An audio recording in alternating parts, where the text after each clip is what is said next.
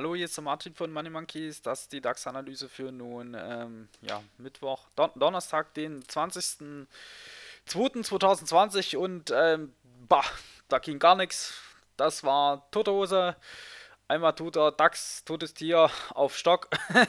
nee, im Grunde, im Grunde war der Stock, war die äh, ja, 67 hier.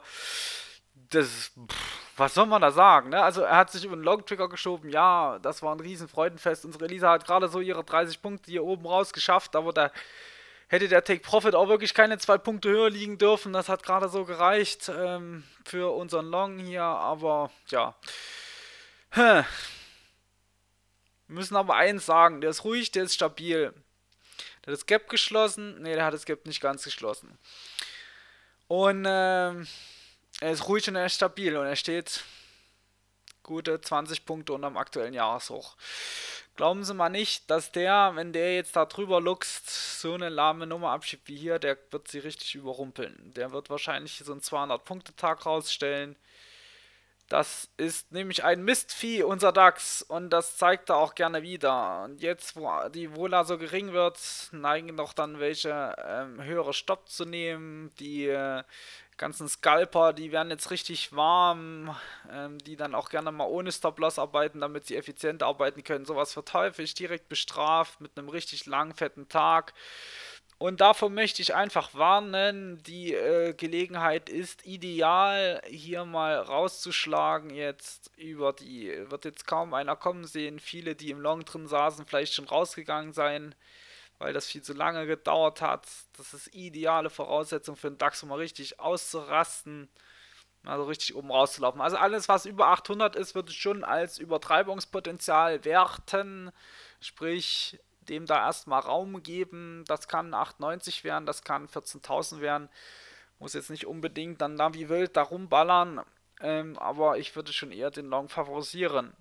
Oberhalb. Unterhalb hätten wir eine Unterstützung um die 87 rum, 87 bis 775. Die ist ganz gut supported nun zum Freitag von oben, äh, vom, zum Donnerstag. Oh, ich komme völlig durcheinander hier. Bewegt sich nichts, da kommt man aus, ganz aus dem Rhythmus. Ähm, ja, die 80, 75 ist von oben ein guter Support, wenn dann zum Beispiel äh, direkt die 820 anläuft, dann nochmal zurückzuckt, wäre ein guter Support dann oben raus. Unten haben wir auf jeden Fall das jetzt erstmal nicht gemacht, ne? Ganz, ganz offensichtlich. Wollte er nicht, konnte er nicht, hat er direkt für Aufwärtsgap schon gezeigt. Ist nicht seine Idee, will er nicht haben. Ähm, ist zu ruhig. Wir hatten ja gesagt, wenn er ruhig bleibt, dann eher oben. Wenn er nervös wird, insbesondere zum Start, dann unten. Das war nicht nervös. Von daher hat sich das erledigt. Okay. Ja, in dem Sinne, hier ist der Trend intakt, das ist aufwärts. Ähm, unterhalb sollte tiefer gehen, wäre der Bereich um 700 nochmal interessant. Die Unterstützung hat er am Vortag jetzt nicht abholen können. Würde ich deswegen einfach nochmal mitnehmen. Sollte hier tief tauchen, die 700, um da auch das Gap zuzumachen. Das ist eine schöne Supportzone nach wie vor, falls er ein bisschen mehr Schwung holt. Aber dafür müsste fast schon mit Abwärtsgap reinkommen. Ansonsten wird das wohl auf einen Ausflug über die 8 13.800 nun hinauslaufen. Ja, ansonsten Wohler gering, na, nicht, nicht täuschen lassen.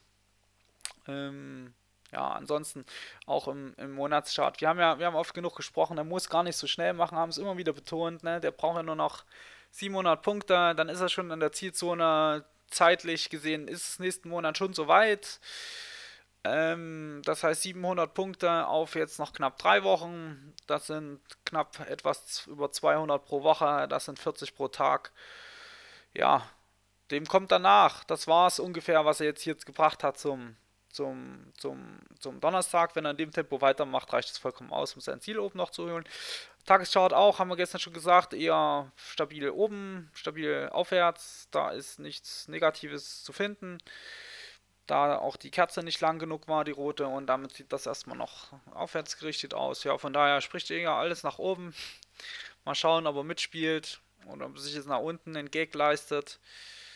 Ähm, ja, ich glaube, die Bänder sind auch recht eng. Also, genau, ich, ja, ich, 700 unten ist für mich interessant und alles über 800 dazwischen Range, seitwärts.